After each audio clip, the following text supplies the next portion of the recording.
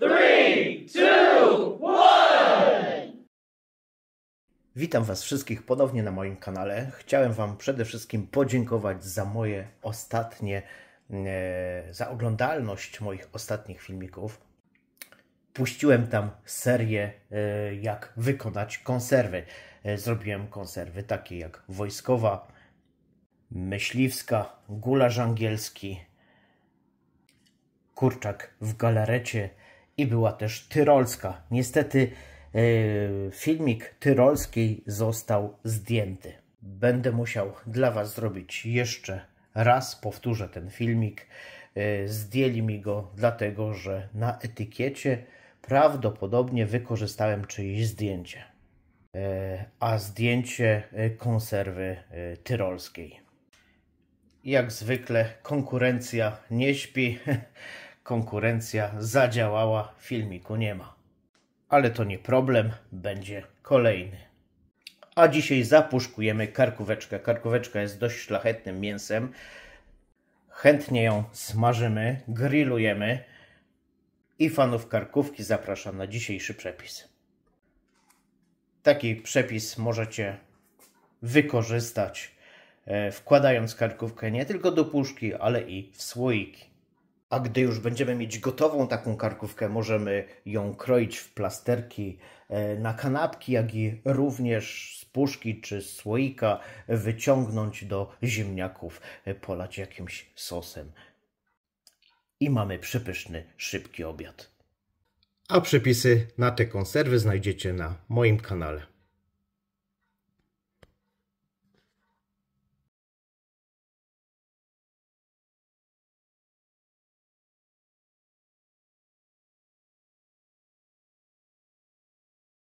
Przy okazji, kochani, chciałbym Was zaprosić na wciśnięcie dzwoneczka, ponieważ dzwoneczek przypomni Wam o kolejnym moim filmiku. Karkóweczka przepłukana. Karkówkę będziemy kroić w dość duże kawałki. Za chwilkę pokażę Wam jakie. Ja karkówkę kroję w dość grube plastry, a następnie w kostkę.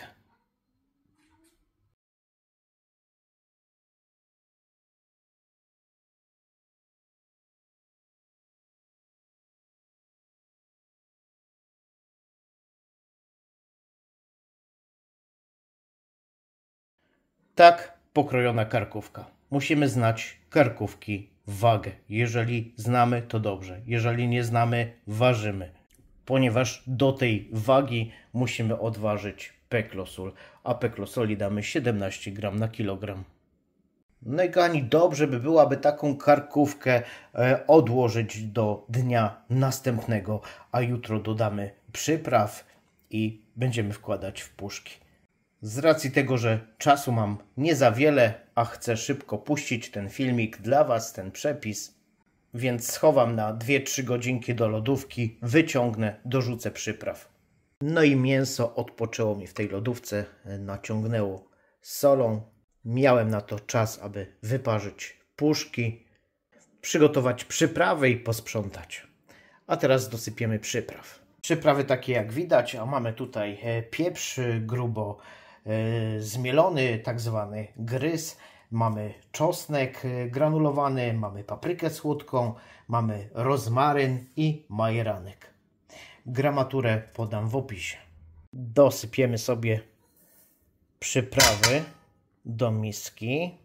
Dolejemy jakieś 150 ml wody i porządnie to wyrabiamy. Ja, kochani, pokazuję Wam dzisiaj przepis taki tradycyjny, jaki zazwyczaj robię. Natomiast gdybyście chcieli taką karkóweczkę zrobić na wypasie, a lubicie pikantnie, możecie sobie y, dorzucić, dosypać y, takiej przyprawy jak grill pikantny.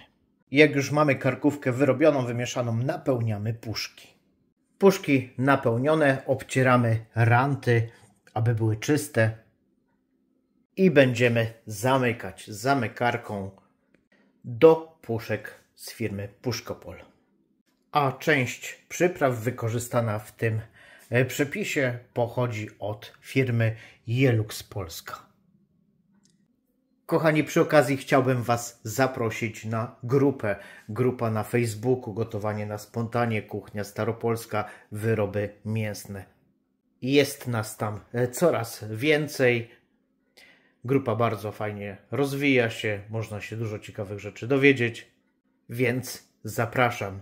Tak i również zapraszam na TikTok, Instagram, Gotowanie na spontanie. Kochani, jeżeli macie pomysł na konserwę, e, napiszcie w komentarzach, postaram się dla Was zrobić. Kochani, jak się obsługuje taką maszynę, myślę, że każdy z Was wie, a jeżeli nie wiecie, to na przykładzie jednej puszki pokażę Wam. Wajcha w tej pozycji. Wkładamy puszkę. Mocno dociskamy. Włączamy maszynę. Są dwie rolki. Jedna rolka. Teraz druga rolka.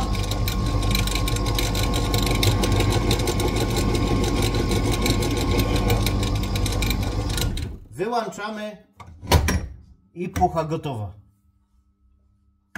I tak kolejno.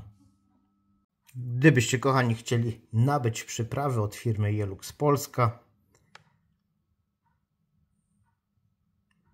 i w przypadku chętnych na maszynę do zamykania puszek.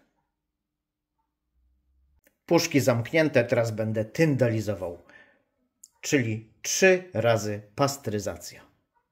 Włączam piekarnik. E, piekarnik nagrzewam do 90 stopni i godzinka, godzina 10 do półtorej. Ja będę e, trzy razy pasteryzował w piekarniku, nie w wodzie, a z powodu tego, że do puszek nie dobiera się ruda. No witam, witam po tyndalizacji. E, tyndalizacja zakończona. E, trzykrotnie pasteryzowałem. Przyszedł dzisiaj mój ulubiony dzień. Dzień testu. Więc tradycyjnie otwieramy puszeczkę, musimy sprawdzić, co się w niej dzieje, jak to wygląda, jak pachnie i jak smakuje. Duże kawały mięsa. Dość dużo galaretki. Pachnie obłędnie, zaraz zobaczymy, jak smakuje. Ha, zobaczcie, jak to wygląda. No cudo. Normalnie cudo. Zbita, zwarta, nic się nie rozlatuje. Jestem ciekaw smaku. Ha, powiem wam tak. Albo wam nie powiem. Zróbcie i się przekonajcie. A powiem wam, że rewelacja, choćby nawet, przepraszam, ale pyszne. Mm. Ale kapitalna rzecz. Słuchajcie, samo to. Wpadamy do domu, gotujemy na szybko makaron albo ziemniaczki zawartość puszeczki do rondolika, rozpuszczamy, dorzucamy do ziemniaczki, mamy obiad. Także śmiało i do obiadu, i na kanapki. Rewelacja. Super, dzięki, że byłeś ze mną, że oglądałeś mój filmik. I nie zapomnij wcisnąć dzwoneczek, a dzwoneczek przypomni Ci o kolejnym moim filmiku.